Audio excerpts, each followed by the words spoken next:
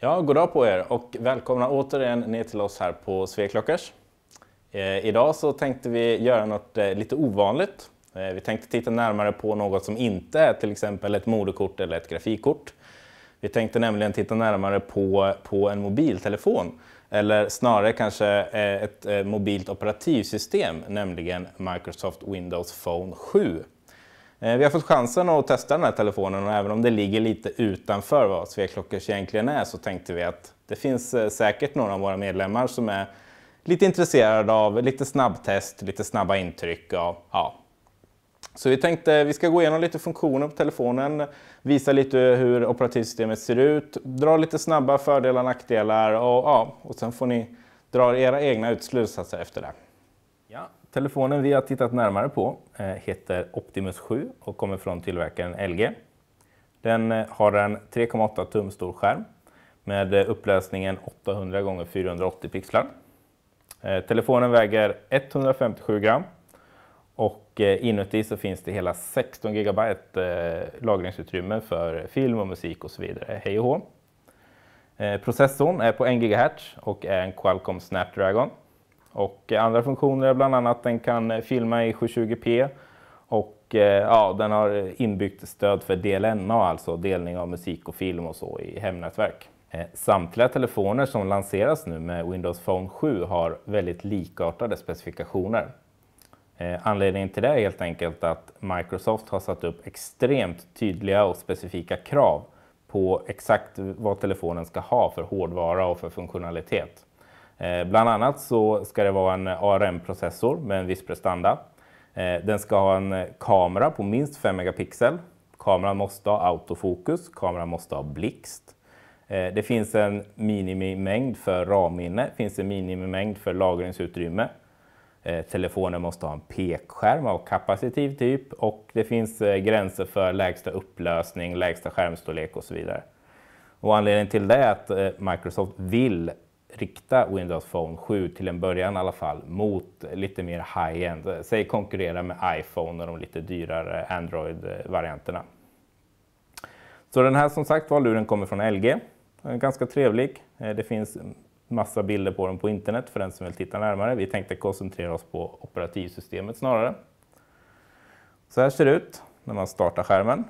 Det finns en startskärm precis som eh, de flesta, någon form av låsskärm. Man låser genom att helt enkelt dra upp och så kommer man till huvudmenyn. Något Microsoft har koncentrerat sig väldigt hårt på det är att göra väldigt hårda integrationer här så att det mesta ska finnas i de här så kallade hubbarna här som finns på huvudmenyn. Bland annat här så har vi Peoples-hubben. Den ligger överst här för mig. Man kan även flytta runt de här genom att hålla inne på dem. Då kan jag dra runt och lägga den här lite vad jag vill. Jag vill gärna ha min People där. Oj, nu kom vi dit. Så, och hoppar in på People-hubben här. Då finns det integrerat Facebook. Här kan man se vad som har hänt sen sist. Och här kan man se de kontakterna man senast besökte. Och även ja, samtliga kontakter som man har i sin, eh, sin eh, kontaktbok. Eh, så fungerar samtliga de här hubbarna. Det finns bildhubben till exempel. Här finns alla, alla bilder och filmer som man har spelat in. Med, eh, även från Facebook plockar jag ner ens vänners bilder och alltihopa. Eh, med hela konceptet och utseendet Windows Phone 7 så är det väldigt toppstyrt från Microsoft. Det vill säga de här rutorna och den här hubbstrukturen som finns här. Det kommer finnas på alla Windows Phone 7-telefoner som lanseras. Det är bestämt så av Microsoft och tillverkarna själva har inga möjligheter att ändra på det. Det tillverkarna däremot kan göra och lägga till egna hubbar som eh, då hamnar i den här menyn. Det har till exempel LG gjort här eh, på den här varianten med deras Play 2 här som ett exempel då. Det är då den här delen av funktionen eh, för att spela media över nätverk till exempel. Eh, om man hoppar åt sidan så kommer man till någon form av applikationsmeny motsvarande som finns på iPhone och Android. Här finns alla telefonens program, alla inställningar och allting. Eh, under inställningar som ligger lite längre ner här i listan så finns de gamla vanliga alternativen. Det handlar om ringsignaler, teman, flygläge, trådlöst nätverk, tider, mobila nätverk, hur tangentbordet ska fungera. Ja, det gamla vanliga. Sveper man åt höger så finns inställningar från de olika applikationerna samlade, ungefär som eh, Apples iPhone-lösning, att det är samlat på ett ställe. Eh, webbläsarmässigt så handlar det i känd stil om Internet Explorer. Den ser ut så här. Om man klickar helt enkelt så kan vi gå till en välbekant adress, sveklockers.com. Eh, renderingen är hyfsad, det blir lite förstorad text här och där. Jag vet inte om det beror på att det kanske inte är en färdig version eller om det är vissa element på webbsidan som den tolkar lite fel. Annars fungerar det bra. Något som inte fungerar däremot är flashinnehåll. Det fungerar inte överhuvudtaget. Eh, och det är oklart om det kommer någon, någon spelare för det. Eh, till skillnad från till exempel på Android och iPhone där ett Youtube-klipp blir en länk till den inbyggda Youtube-spelaren så kommer det här upp en liten text där det står att nej, tyvärr, det här fungerar inte för att eh, du har inte Flash. Zoom funkar precis som man kan förvänta sig med, med Pinch. Det är för övrigt ett av Microsoft-krav också att det ska vara multitouch på touchdisplayen. Och det är väldigt bra flyt faktiskt i, i webbläsaren. Det är inga problem alls att surfa runt med den. Och givetvis om man roterar telefonen så roterar eh, webbläsaren med. Ja, hoppar vi ut till huvudmenyn igen. Eh, hoppar in i själva telefonfunktionen. Egentligen den kanske viktigaste men som ja, har hamnat i skymundan bland alla IT-grejer. Här finns som hos många andra en eh, telefonbok med länk till People. Det finns även en eh, knappsats Eh, som man slår nummer manuellt och eh, en en snabblänk till eh, röstbrevlådan. När det gäller tjänster har Microsoft satsat stenhårt med Windows Phone 7. Det finns stöd för video och musiktjänsten Zoom. Det finns stöd för Xbox Live och det finns som vi sa tidigare inbyggt stöd för Facebook och ja, allt möjligt. Dessutom finns deras egen marknadsplats som heter Marketplace. Eh, ett problem med den är att den helt enkelt inte fungerar i Sverige. Öppnar man Marketplace så kommer den efter att ha funderat lite på saker och ting vänligt be mig göra ett konto. Och när man försöker skapa sitt konto här sen och trycker på accept så jobbar den lite till. Och sedan så meddelar den mig vänligt att Xbox Live eller Marketplace för eh, Windows Phone inte finns tillgängligt i mitt land. Eh, det här är ett stort problem. Vi ska återkomma till det lite i vår sammanfattning sen. Men att eh, många tjänster helt enkelt inte fungerar i Sverige. Av dessa så känns det väl ändå som att Marketplace är ganska så vitalt. Något vi också återkommer till lite senare.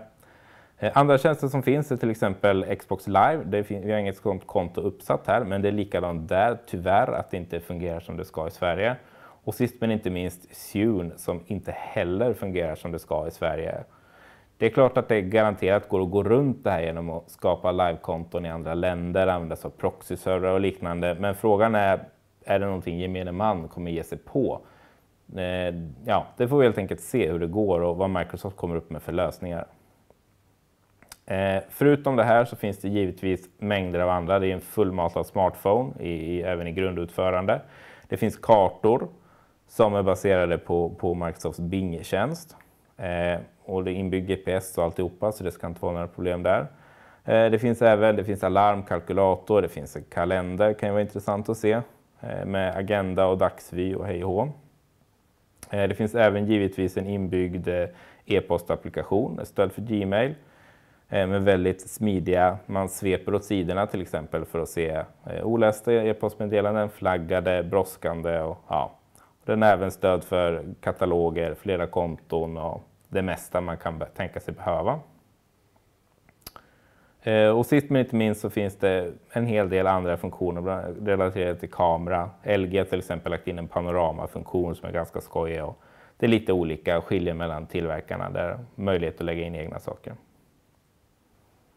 Ja, sammanfattningsvis efter att ha kört eh, Windows Phone 7 här och den här LG-telefonen i, i lite över en vecka så är jag personligen positivt överraskad.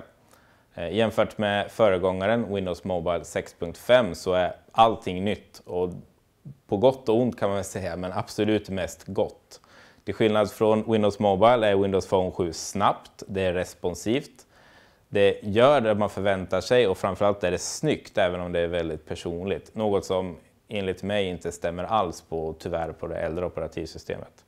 Allt är dock verkligen inte guld och gröna skogar, speciellt inte för oss här i Sverige ingen av de tre stora tjänsterna, alltså Zune, eh, Xbox Live eller Marketplace, fungerar som det ska eller ens alls i Sverige. Och Microsoft Sverige kan inte eller vill inte ge några datum på när det här ska rulla igång. Det är någon gång i vår.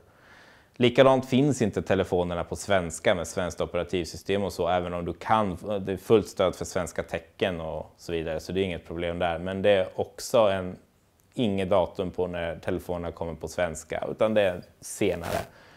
Det kan vara lite skrämmande att köpa en telefon för många tusenlappar när man inte riktigt vet när allting kommer fungera. Ett närliggande exempel är ju Googles operativsystem Android med eh, betalapplikationer, något som folk har väntat på en bra bit över ett år och som nu äntligen rullade igång här förra månaden. Eh, om själva telefonen i sig, alltså LG Optimus 7, det är en väldigt trevlig, eh, välbyggd telefon som ser lite plastig ut kanske, men absolut inte känns plastig. Den har bland annat en metallbaksida. Hårdvarumässigt är de här telefonerna väldigt lika, så det handlar mycket om tycke och smak, även om Samsung till exempel kanske sticker ut med sin eh, AMOLED-skärm de har på sin telefon. Något man får med LG som inte är att förglömma är dels eh, en lite lägre prislapp, den ligger några hundralappar under de andra modellerna i Sverige. Samt framförallt 16 GB internminne, något som kan vara väldigt viktigt för den som eh, har mycket film eller vill ha väldigt mycket musik lagrat, eh, tycker om att ta mycket kort till exempel. Så summa summarum, Windows Phone 7. Efter vår lilla snabba titt här och vår testvecka så får det bli en tumme upp eh, just nu. Det är ett trevligt operativsystem. Det kan mycket väl bli två tummar upp här framöver, men då gäller det verkligen att Microsoft rullar igång de här tjänsterna. Vi kan inte ge ett köpråd till den som verkligen inte har läst på ordentligt, för att jag tror att om det kommer någon gemene man eller någon medelsvensson och köper den här telefonen kommer han eller hon kanske bli väldigt besviken när saker inte fungerar riktigt som det ska eller utlovat med de här tjänsterna. Då. Men operativsystemet är trevligt och absolut en värdig konkurrent framöver till Android och iPhone.